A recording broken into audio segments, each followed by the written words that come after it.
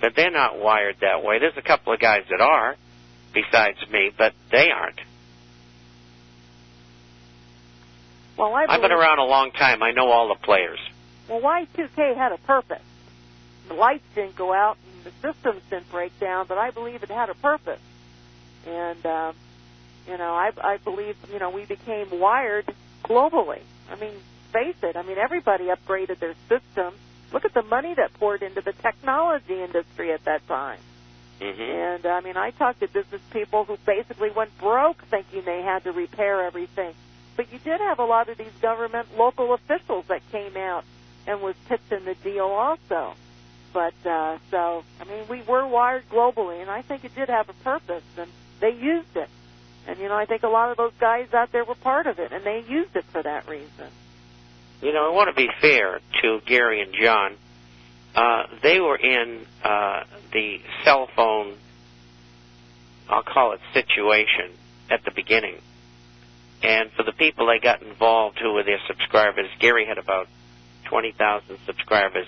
They and their subscribers who got involved made a lot of money.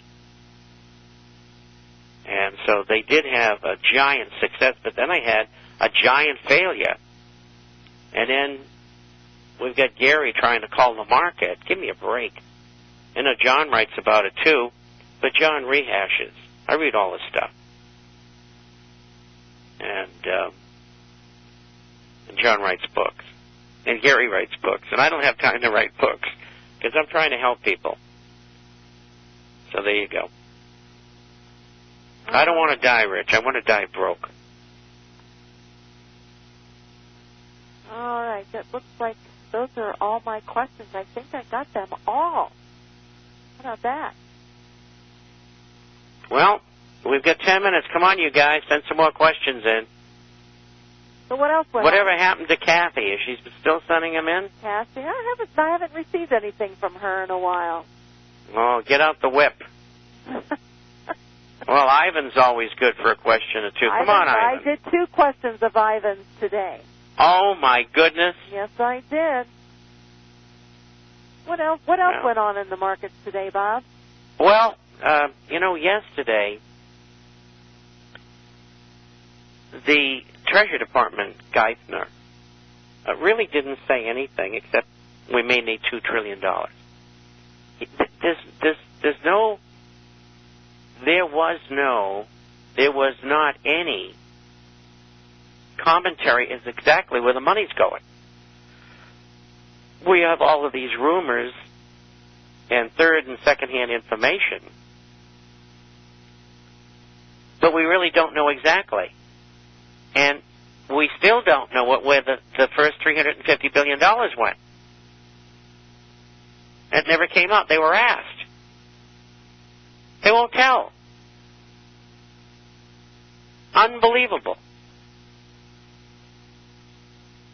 But the stock market's in serious trouble. It's going lower.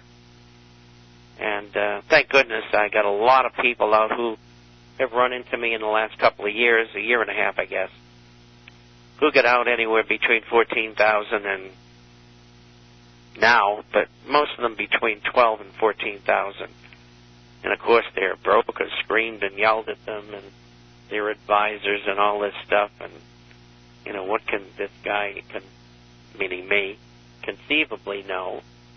And uh now they're asking uh uh their portfolios uh, these advisors and brokers uh, saying, "My goodness, they're up, you know, thirty or forty percent, and uh, some more than that, and some are even. But all the stuff they sold out is down considerably. Now, how do you how do you do that? They're asking these people. I told them all when they asked me, just tell them it's a secret.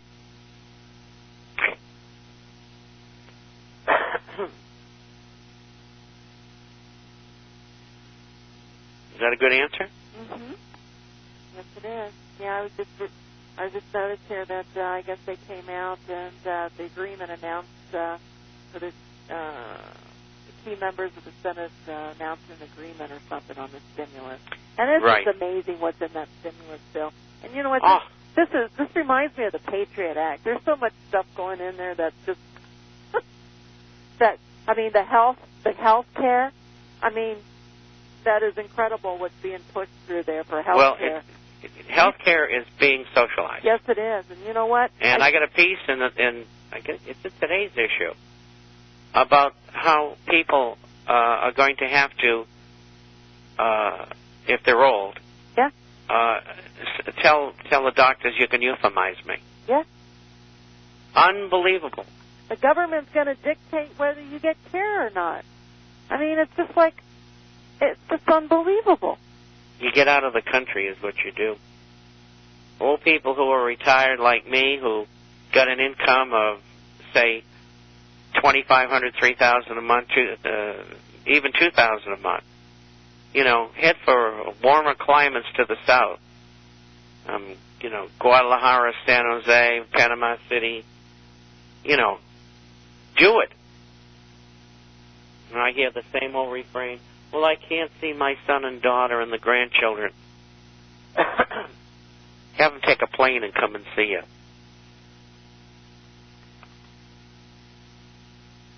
And I told somebody today, I says it reminds me of the, you know, back in the gladiator days, you know, where, you know, the head honcho, you know, thumbs up or thumbs down, whether you lived or whether you died. You know? That's right. Incidentally, this Art Nadel that was picked up in Florida, uh, for he's a money manager, and um, uh, he owns that airport in Venice, Florida, where these supposed 9/11 hijackers were trained to fly. Now that's interesting, isn't it? Hmm. Uh, we have a subscriber that lives right next door to that airport. I get information on it all the time. So. I got a quick question. Was the upsurge of the credit and card debt instrument in destroying capital formation? Say that again. Was the upsurge of the credit card debt instrumental in destroying capital formation? Gee, I don't know. Um, I don't know. I'd have to think that one out, and I'd have to do some research on it. Um, I know that the banks. I mean, one of these guys from, um, I think it was Morgan Stanley, Mack, said this morning, we should have never been leveraged 30 to 1. He says, I don't know what we were thinking about. Uh, they were leveraged 60 to 1, some of them. These are banks. And what's normal? 8 to 1 under the fractional banking system, and even that's bad. I mean, in every civilization where they've had this fractional banking, which goes all the way back to the money changers and people who would hold your gold for you, and then they'd use the gold as collateral to lend to other people, but they didn't tell you that. And you know, and then they get overextended, and then there's a bust, and they lose everybody's money, including their own and probably their heads. That's the way it used to work. In fact, the way that's the way it should work. So I can't answer the question. I don't know.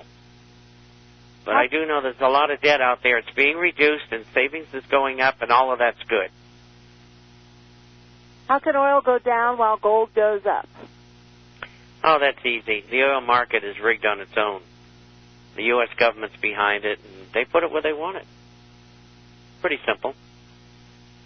Until we stop the working group in financial markets, disband the Fed, do away with the Exchange Stabilization Fund, which is a subsidiary of the Treasury Department, we don't stand a chance. We got to get government out of the markets. And we have to have an independently run civil authority like the SEC and the CFTC that government's got nothing to do with other than they report to Congress. Sort of like a, how well, one of the uh, policing agencies, say the Federal Trade Commission, something like that, where they, they, they look around to make sure that people aren't being cheated by other people. The system we got now doesn't work. You know, the first head of the SEC was Joe Kennedy. At the end of the program, Bob, eight hundred five forty one eighty eight. We'll be back Friday. Good night. Good night, Bob. Bye-bye. Bye.